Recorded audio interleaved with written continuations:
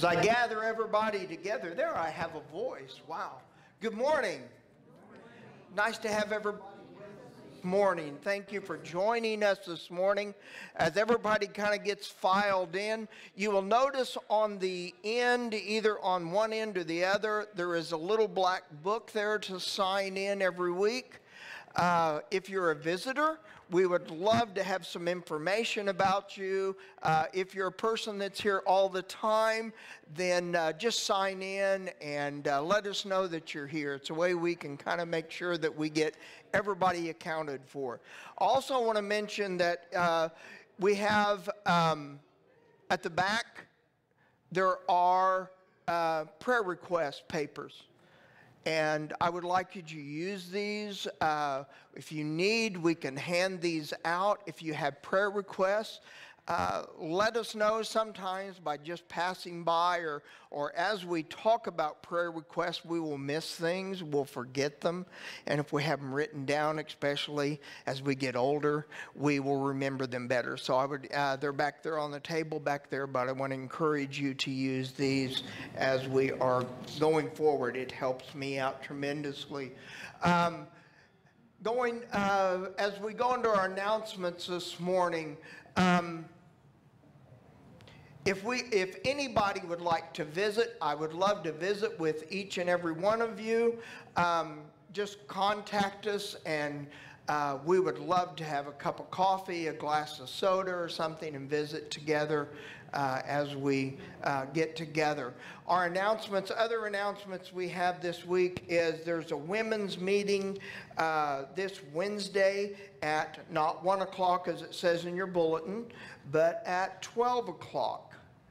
Uh, so that'll be uh, this Wednesday. On Tuesday will be our meals this week. And on Tuesday, the meals will be uh, chicken salad and uh, have some fruit with it. That's, that sounds something really good about the third week or fourth week of July, doesn't it? For a nice evening meal, something nice and cool. Uh, so we're going to be preparing that if you would like to have that. Um, the uh, Barb and Victor Vic, uh, are out of town, so contact the church or the church's office or uh, give me a call let me know, drop me a text if you need a meal that day so we can make sure and get everybody covered. Uh, next Sunday, July 30th, we are going to have a all church meeting. What does that mean? We're going to have sandwiches after church. We're going to sit down and visit together and talk together. We're going to look at where the church was, where the church wants to go. But I hate to do this with just a few people. I want to know what you all think. And we can all share together of the life of a church. And there's a lot of things we can come out of that type of meeting together, and then we can start working together and growing as a church family. And we're going to do that next week. August 13th, we will be doing, that'll be a couple Sundays from now. We're going to have, we're going to renew our membership because we are now in the Global Methodist Church, but we'll renew our membership. But we would also like to welcome anybody that has been attending and maybe has not joined the church or um, something like that. If you would like to be part of the church, if you maybe you've never been baptized and God's been pulling on your heart that you would like to be baptized and you would like to become a member of the church, this is a time that we would like to do that. So give me a call and we can do that.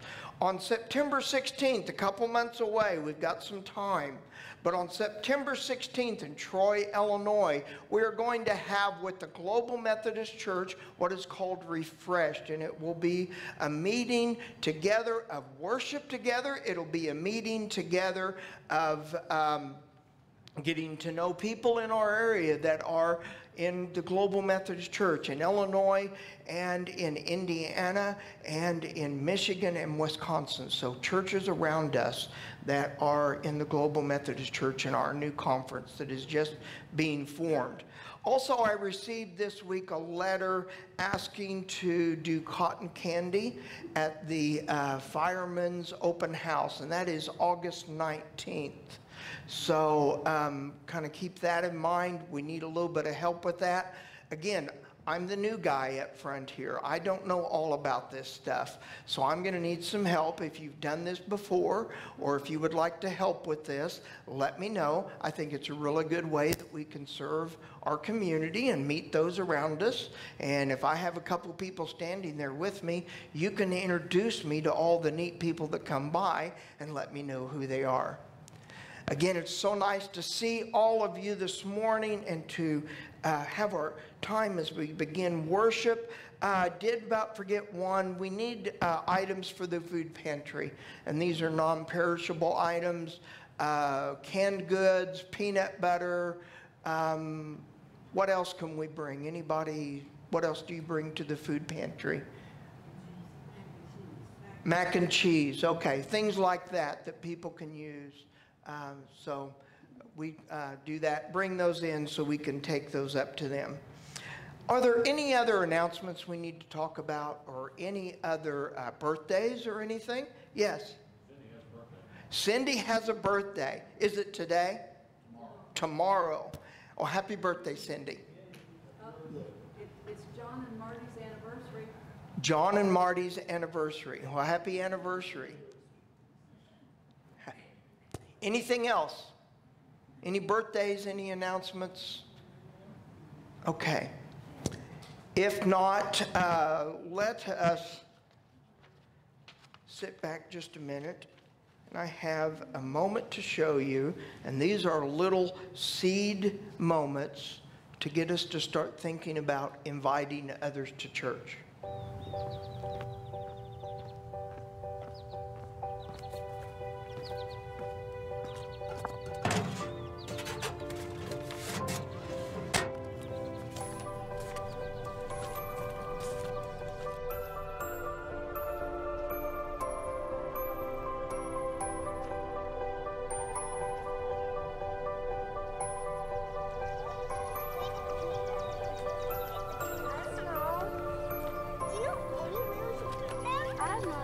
Kids doing? Well, we're inviting people to our church this week. And for other people to say, yes, we tie a balloon to the willow box. Oh, yeah? Tell me about your church. In the eyes of a child, it's simple to invite someone to church. You're just telling them about something you love. Almost everyone has gone to church at some point in their life, whether it's their christening or Sunday school, Easter or Christmas, or even their wedding. Special events just seem more official when they're happening in a church. So it is simple to invite people. Just tell your neighbors, hey, there are really great things happening every week in our church. And you can consider this your official invitation to come back and join us each Sunday. We'll save a seat for you. Anyway, we did have a lot more people we wanted to invite, but we ran out of balloons. Do you have any balloons? What do I look like? A balloon delivery guy? Come here, guys.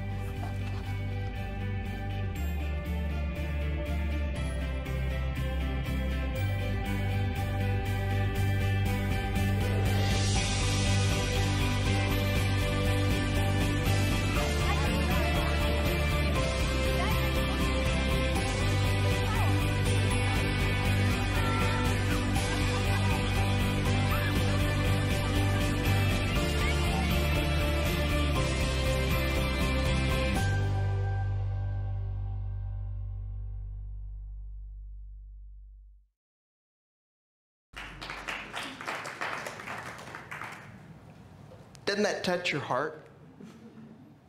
Do you know what? There's people out there waiting for a balloon.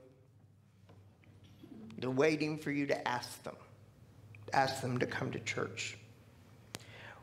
Let us open our worship service this morning with an opening prayer.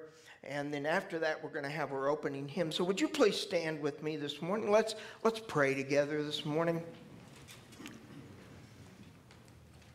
Most gracious and loving God, this morning we come here, we come here with this purpose and this time to worship.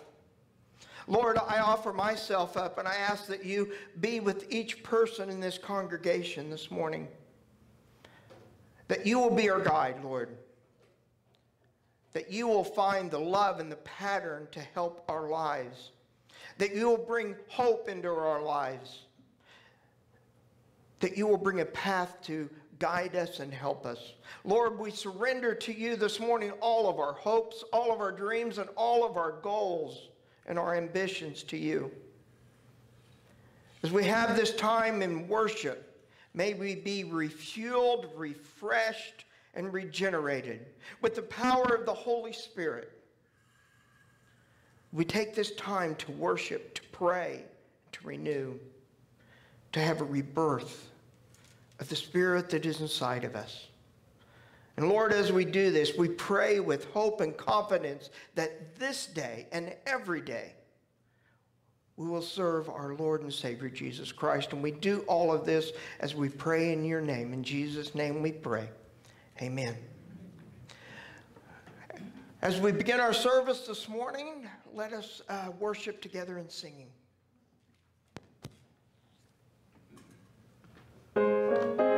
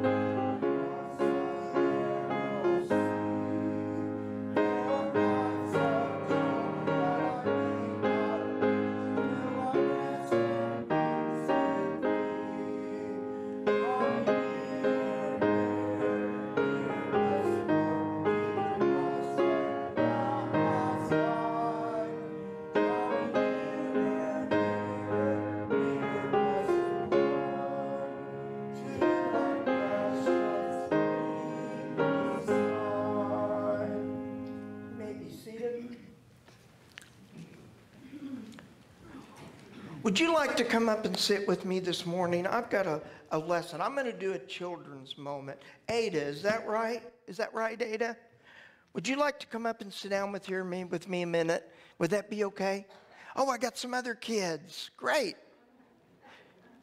You want to come up and sit here with me? I promise I will not bite. We're just going to come up and sit together.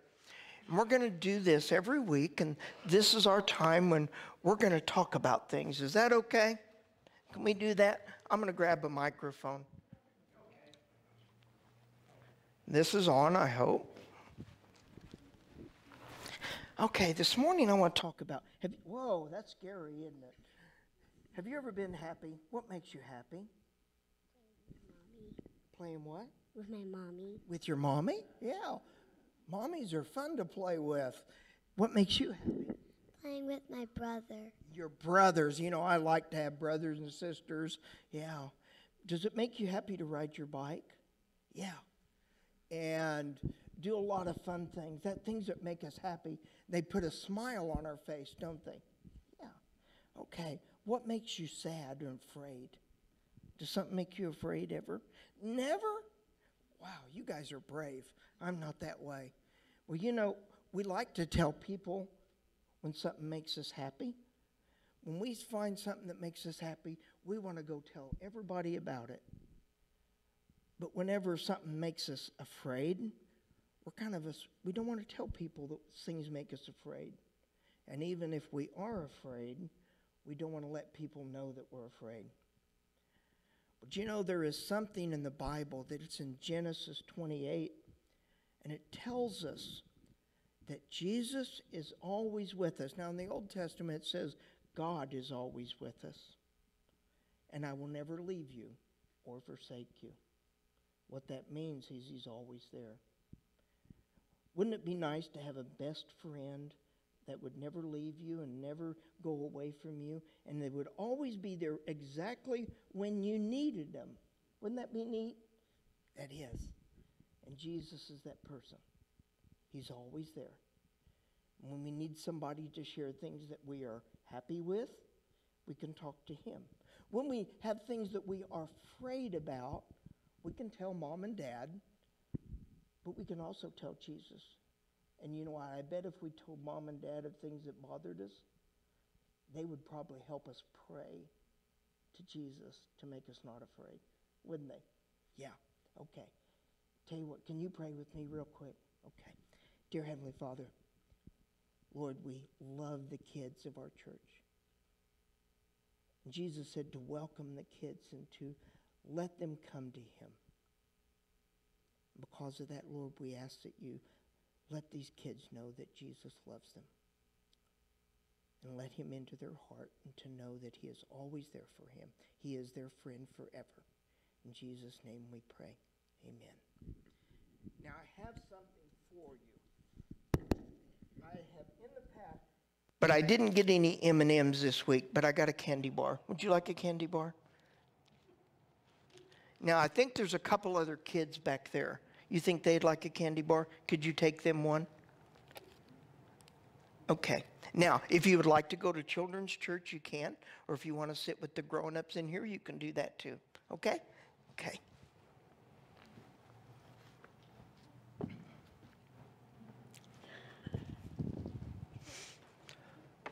Let us continue worshiping together. Don't you love to have the kids' time?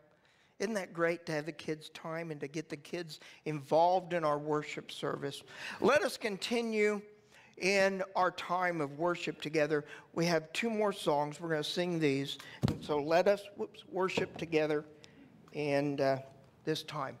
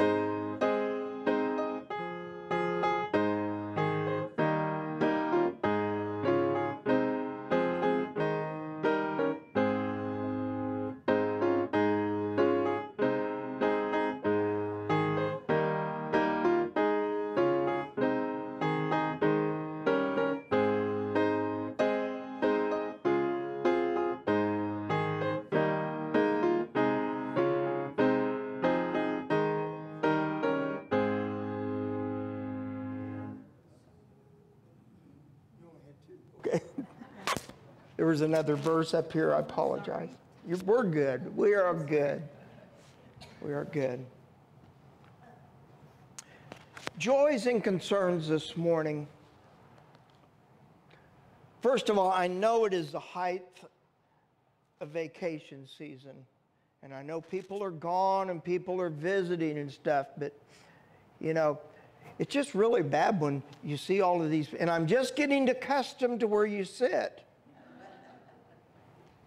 And then I look over there and there's an empty chair, and I think, what did I do wrong? So I know that everybody will be back. We miss all of those that aren't with us. Roxy, thank you for playing this morning. We appreciate it. Our joys and concerns this morning. Do you have any joys this morning? Anybody have any joys? Glad to be here. It's good to be in church this morning. It's good to worship together.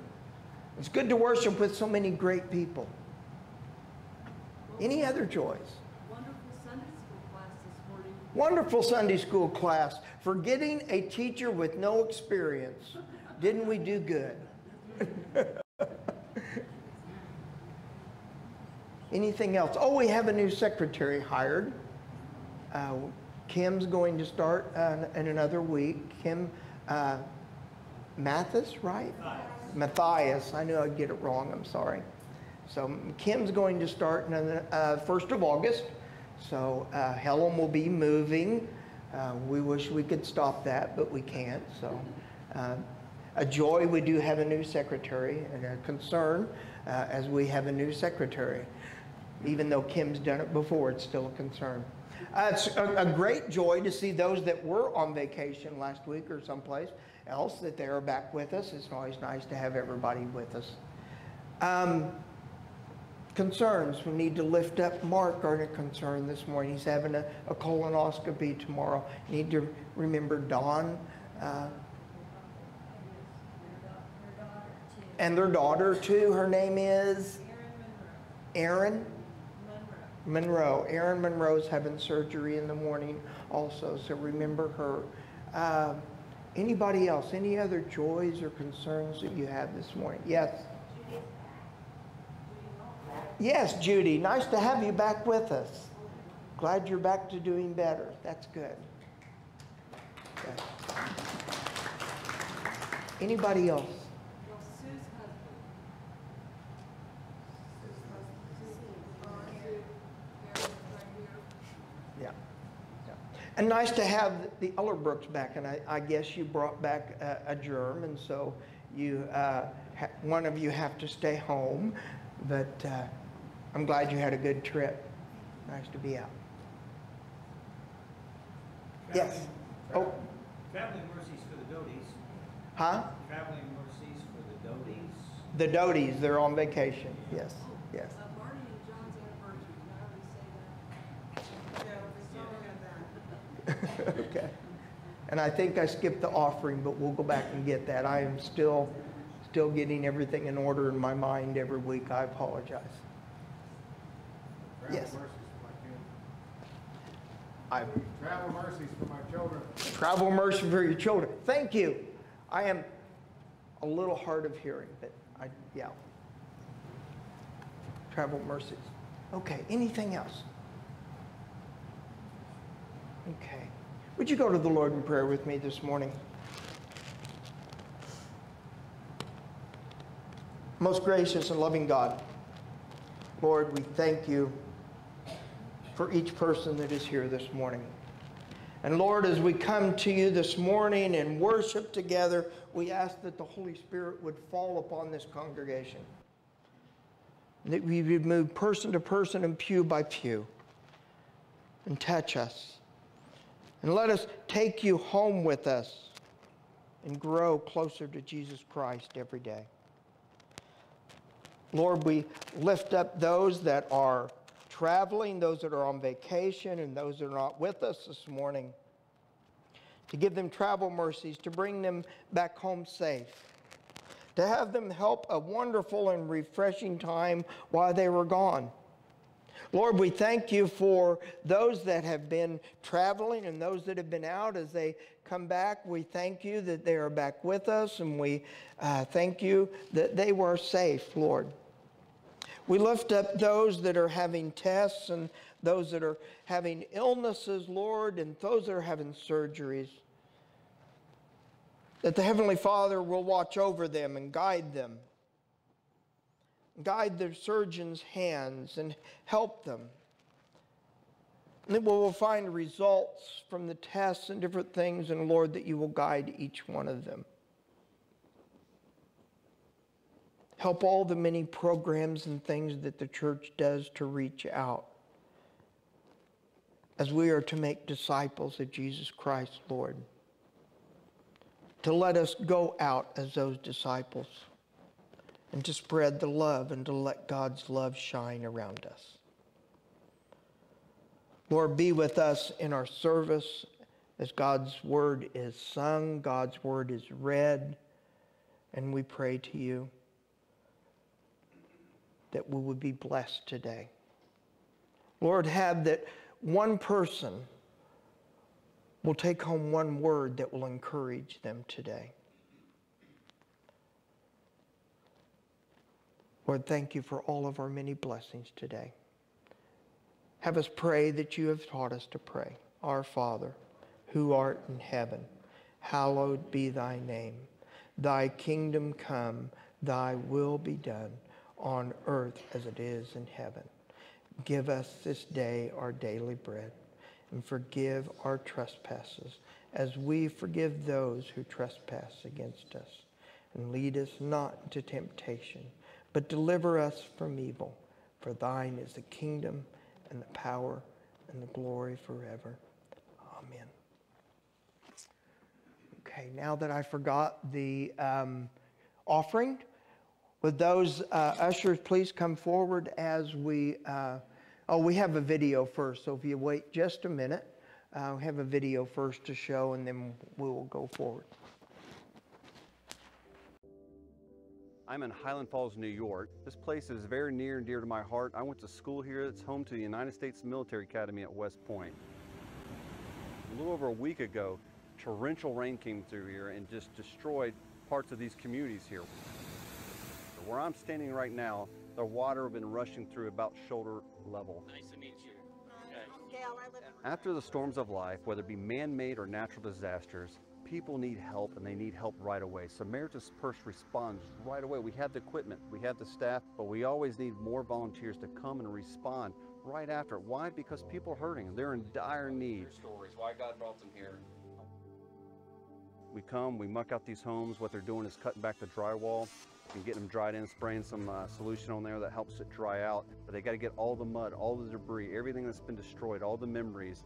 We take them out, bring them to the street for the city to pick up, and then we help dry them in. It can be hard work, but it's so rewarding to work with other volunteers that are like-minded that just want to love their neighbor and love them in the name of Jesus Christ. Help those that are hurting and suffering. Do you mind if I pray for you, Dexter? I would like that. Well, down here. Lord, I just lift up Dexter. I just ask for strength and encouragement. It's crucial that we have the volunteers in the support of the church. The volunteers are the lifeblood. They're the one that come in, they do the heavy lifting, but they're also ready to give a reason for the hope inside them. And that's why Samaritan's Purse goes, just like the story of the Good Samaritan. We want to meet the immediate needs of those that are suffering, those that are hurting, but more importantly, we want them to know about the love of Jesus Christ.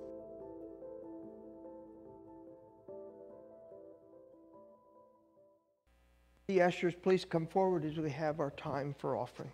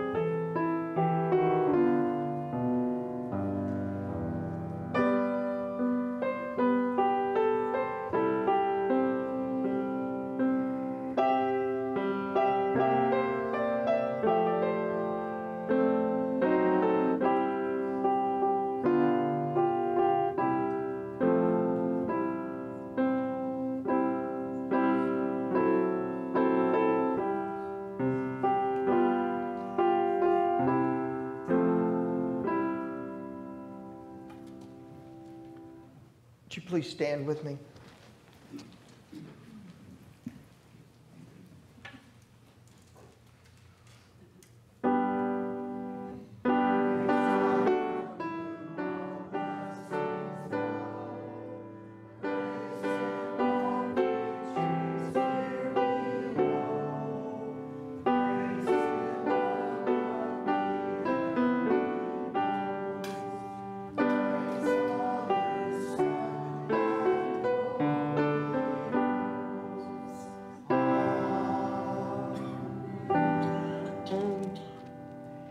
Most gracious and loving God, as we lift up these gifts to you, Lord, we ask you to bless the gift. We ask you to bless the giver. That as these gifts are given, that we are to spread the love of Jesus Christ with those around us.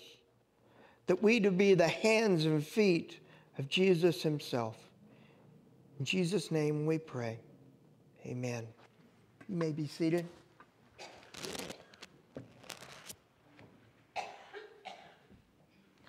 I had you sit down and I'm going to make you stand back up. Would you please stand for the reading of God's Word? This morning I'd like to read to you from Nehemiah, the first chapter, the first through the fourth verse. In the words of Nehemiah and the son of Hacaliah in the mouth, month of Shevet, in the 20th year, while I was in the citadel of Susa. One of his brothers, Hananiah, came with a certain men of Judah, and I asked them about the Jews who had escaped and those who had survived captivity and about Jerusalem. And they replied, The remnant there in the province who escaped captivity are in great trouble and shame. The wall of Jerusalem is broken down, and the gates have been destroyed by fire. When I heard these words, I sat down and wept and mourned for days, fasting and praying before the God of heaven. This is a word of God for the people of God. You may be seated.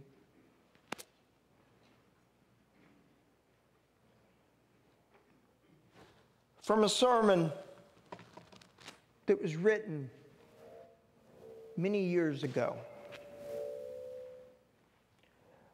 From this pastor's sermon, that with the title itself, I am concerned, hits us with a gut punch. But it doesn't stop there.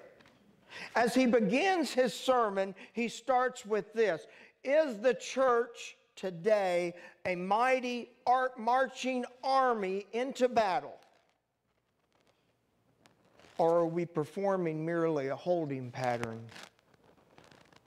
of a fortress of a building and staying inside it? Elton Trueblood said that the church needs to have a strategy plan to attack against, evil. In other words, good Christians, we are not to be defenders of the faith, but we are to be on the offensive in fighting evil. He went further to say that I am concerned of a church of 550 members that share and enter into the joy of worship with an average 180 attending. I am concerned with the hit and miss attendance. But worse than that, of thinking of what is wrong with that. Being at that time that a regular attendee was to be two times a month. But in Christianity today, to be a regular attendee in a church is to be 1.5 times a month. I am concerned of the organization, of the group and functioning of the programs of the work of the church. I am concerned of the educational aspect of the church. And while the church today has greater, fine, the finest equipment, materials, that we have 335 people in our church area enrolled with 145 attending. I am concerned about the activities that surround our church area and our classrooms and going beyond that. The sermon was written in 1970. And today, we put less of an emphasis on church education and Sunday school programs than we have ever had. He goes on to say, I am concerned with the lack of fresh ideas, with the indifference, of lack of motivation and desire to want to grow and to mature into Christians that bear fruit. I am concerned that churches are much like what Jesus saw in the barren fig tree, that if you look below the foliage, you see nothing. You see a tree that is barren, that has nothing in it. There's just a lot of leaves. The pastor that wrote this wrote a very powerful message. Things that I would probably not be able to tell you because you could take this message and take it to any church at any time. While the pastor pulled no punches, this was his first message in the church in 1970. The pastor became very well loved and well known, not publicly for his fame, but for the church work that he did while he was there. He continued pastoring this church for 12 years. He grew the church from 150 attending to 250 at the low point of summer vacation. Over 52 years later, our churches today, we continue to put more and more things in front of God. To the point that the song that was written by Chicago in the 1970s, Does Anybody Really Know What Time It Is? Which basically saying, Does it really matter? Does anybody care about churches today? Does anybody care about the church life? While Christian affiliation has fallen, the last year to the greatest extent in our United States history that now less than 51% of people in the United States say they are Christian. And only 30% attend a church in a country that was founded, that I believe, on religious freedom. So, over the next few weeks, we're going to look at a man, a man named Nehemiah, and a man that Nehemiah that asks the question Does anybody really care? But what Nehemiah did to show that he cared. Nehemiah cared enough to ask. If you look back at our scripture today, in the very beginning of Nehemiah, as he starts, it says that several of the men that gathered together and they were there together, and he asked, How is it with those that escaped captivity? How is it with those that have went back to Jerusalem? How are things going? He cared enough to ask. He cared enough to listen to what they had to say. And they told him that the city walls were in bad need of repair, that they were at risk. Why rebuild? Why fix the walls? Not so much the walls themselves, but what the walls represent in their lives. The walls represent not being, being vulnerable, be not being protected. And in our spiritual lives, we need a protection of Jesus Christ. We need a spiritual life in that. We need to fix the holes in them and repair them. And that is a big part of the church, good people, is they help in our spiritual individual lives, but they help in our spiritual lives as a church if they are filled with the love of Jesus Christ. Because you see, the worst thing against humanity is not to hate them. The worst thing in humanity is just don't care. If you don't care about them, that is very much what Satan wants. Jesus went so far as rebuking them in the Good Samaritan as those that crossed on the other side, those that went around and did not even care to stop and to lend aid to the man that was in need. But yet, one that was an outcast of the Good Samaritan, one that was an outcast of society, cared enough to stop and to lend aid. And that what Jesus is telling them. So we must care. Because there's plenty of people that will stand there with their arms folded and smile and say, I really just don't care. But we are the representatives of those that do care. And so in Nehemiah, in chapter 1, Nehemiah first introduces himself as a man of humble beginnings. And he gives this prophecy. But who was Nehemiah?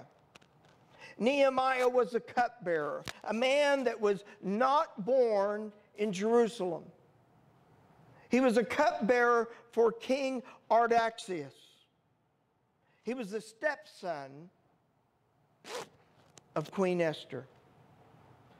And so, if you would put this in chronological order in the Bible, it would somewhere between the book of Esther and in between Ezra and Nehemiah. But it says, as Nehemiah sat in the temple, and he asked them of what was going on, and he listened.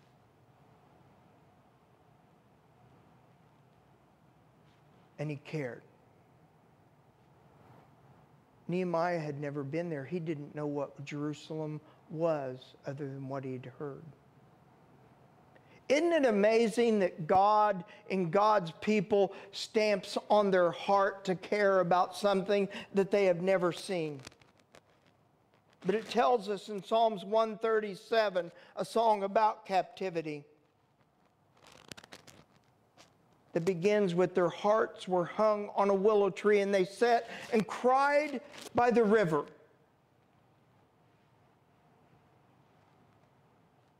The people can't help but be connected with Jerusalem. They can't help it because it's part of them, it's bedded in them, and it's planted in them. So it says that after Nehemiah cared and he listened and he wept, he prayed. And if you go to verses 5 through 10, this is what Nehemiah prayed. I said, O Lord of the heaven, and the great and awesome God who keeps covenant and steadfast love with those who love him and kept his commandments. Let your ear be attentive and your eyes open and hear the prayer of your servant that I now pray before you day and night for your servants. The Israelites confessing their sins of the Lord, which that we have sinned against you. Both I and my family have sinned. We have offended you deeply, failing to keep your commandments, the statutes, and the ordinances that you commanded Moses, your servant. Remember the word that you commanded Moses, your servant. If you are unfaithful, I will scatter you among the people. But if you return to me and keep my commandments and do them, though your outcasts are under the farthest skies, I will gather them and there will bring you to a place where I have chosen to establish my name. They are your servants and your people, whom you redeemed by your great power and your strong hand. Nehemiah cared enough to pray. It says that he prayed and fasted. He prayed and fasted, but you notice that he used a word that we. He didn't say they. He said, We have all sinned against you.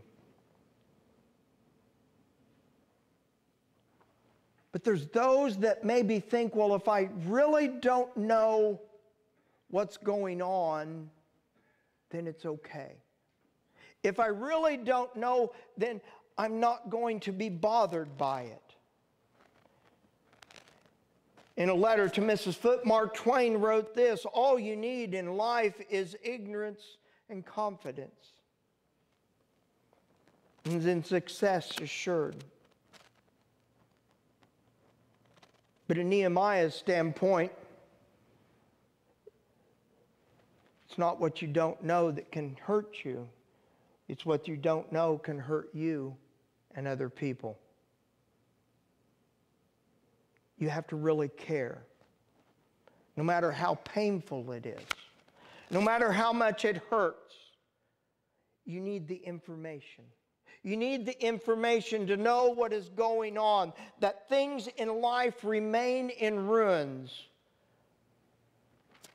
And so, because of that, Nehemiah, as he cared and prayed, he went to the heart of the people because he knew that God loved these people. And so God wept for them. As Nehemiah wept for them,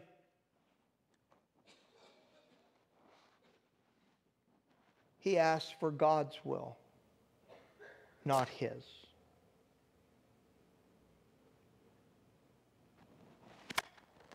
As Nehemiah fasted and prayed, he did one more thing.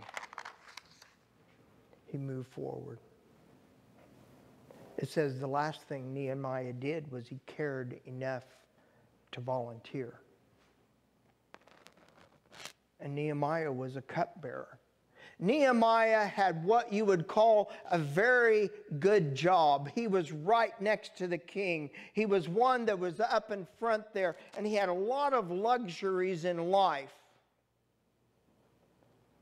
So, as he prayed to God, he figured out that he had a time that God would intercede for him and God would have the king listen to him.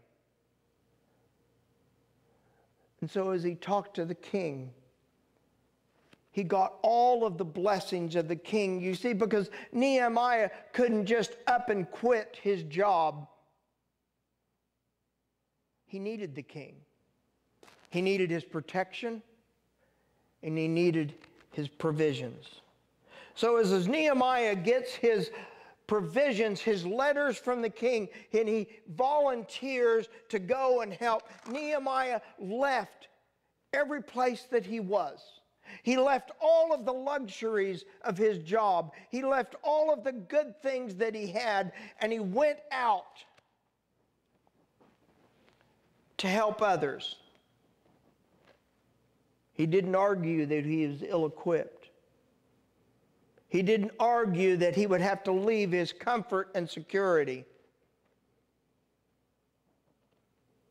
As Nehemiah cared enough to listen, as Nehemiah cared enough to fall upon his knees and pray, as Nehemiah cared enough to weep for the concern of the people, Nehemiah stood up and cared enough to volunteer. And this is what he told God. He said, Send me. He didn't ask God to send somebody else.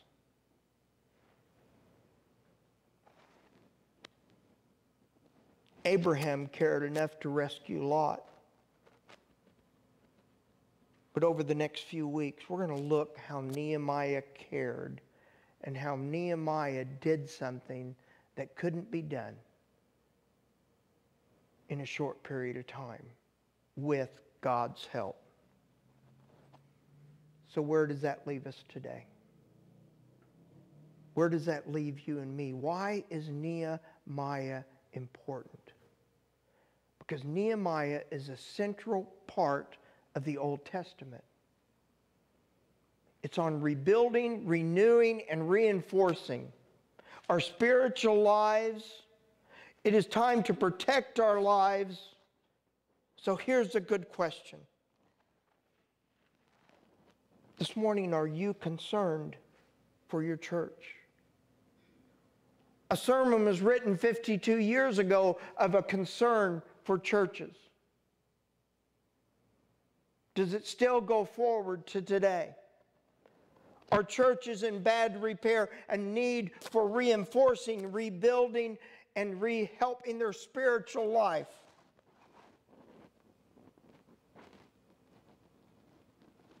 Good people, we are set apart from the world to show the world of a way that we are to live as people of Jesus Christ. And so I think that churches all should be concerned because we have a very big job to do. We have a world that has put everything of the importance of the world in front of Jesus. So we can't be negligent. We have to care. We have to follow what God is telling us.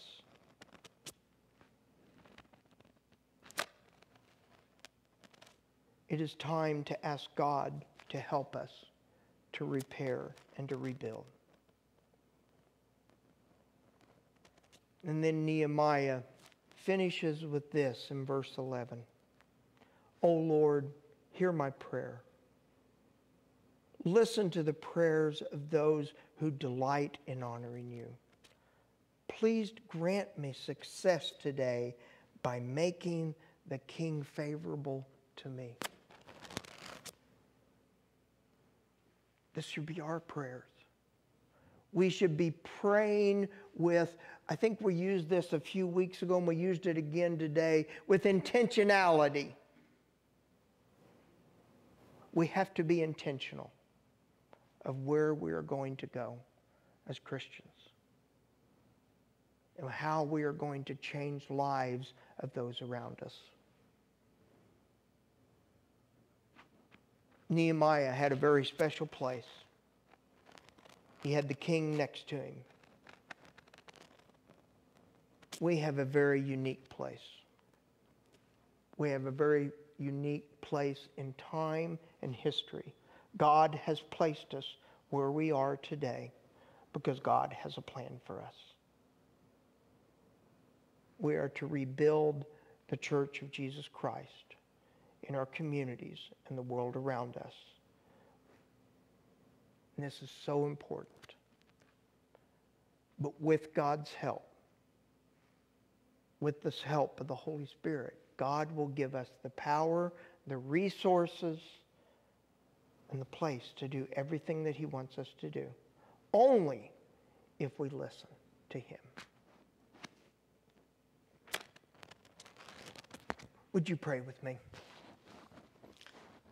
Most gracious and loving God, that we thank you for each person that is here. Lord, we thank you for the Word of God that is given to us to motivate us, that is given to us to call out to us to what we are to be doing. Lord, we said it said that we are the hands and feet of Jesus. So let us go about being those hands and feet. Let us go about being the body of Christ. And let us do what God is calling us to do. We pray all of these things in Jesus' name. Amen.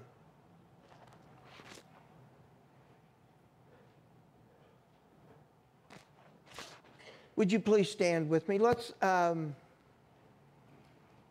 just please stand with me and we'll have a benediction. And uh, next week, I think we're going to sing a chorus at the end of our service. It kind of makes a little more to me of a finish. To me, this kind of leaves it hanging a little bit, but we will do a little bit different as we change and grow together. Would you bow your heads and we have a blessing? Dear Heavenly Father, we ask that you go with us and be with us.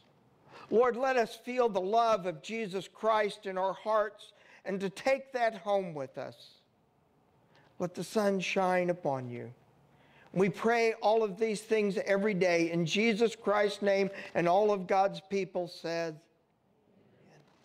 Thank you. Have a blessed day and a wonderful week.